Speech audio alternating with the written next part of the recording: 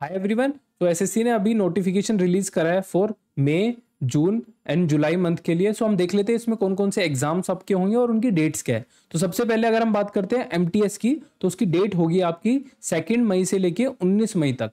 फिर आपकी डेट्स हैं थर्टीन ऑफ़ जून से लेके ट्वेंटी ऑफ़ जून तक। तो आपका कुछ बच्चों का पेपर इस शिफ्ट में रहेगा, कुछ बच्चों का इन डेट्स में रहेगा। देन आपका आता है एस एस सी की डेट्स जो कि सीपीओ मेन्स है ये।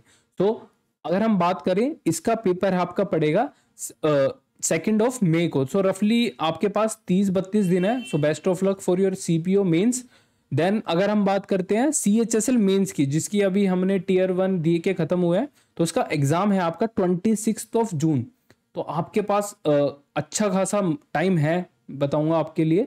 तो आपके लिए उसके लिए प्रिपेयर हो सकते हैं। प्लस मज़े की बात क्या है? ये जो एग्ज़ाम है एक ही दिन में हो रहा है ना कि सी जी एल मेन्स की तरह। चार दिन में, जो कि हमारा तीन, दो, तीन छः और सात मार्च को हुआ था। तो चार शिफ्ट हो जाती हैं तो उसमें नॉर्मलाइजेशन का फैक्टर आ जाता है। बस आपको डरने की बात नहीं है सी एच एस एल में, क्योंकि एक ही दिन में ये कह रहे हैं कि हम पूरा पेपर ले लेंगे। देन आता है आपका सिलेक्शन पोस्ट जिसके अभी अभी सत्ताईस को फॉर्म खत्म हुए हैं।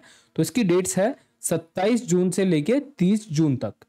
तो एसएससी ने जो कैलेंडर रिलीज़ करा था, उसके अकॉर्डिंग ही चल रहा है, कुछ लेट आगे पीछे हुआ नहीं है एज सच देन आता है आपका सीजीएल का टीयर वन ट्वेंटी थ्री का।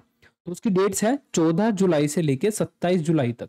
ये टीयर वन सबको पता है क्वालिफाइंग होता है बट हम एक्सपेक्ट कर सकते हैं कि साठ पिछहत्तर दिन में ये आपका सीजीएल मेंस कर दे, जो कि अक्टूबर में उन्होंने बोला था तो मेरे को लग भी रहा है अक्टूबर में वो आपका सीजीएल मेंस कर लेंगे। तो रफली around six seven month left for your CGL mains so best of luck for that as well तो अगर हम कैलेंडर की बात कर ले, एक बार जो उन्होंने कैलेंडर रिलीज़ करा था तो हम देख सकते हैं इधर।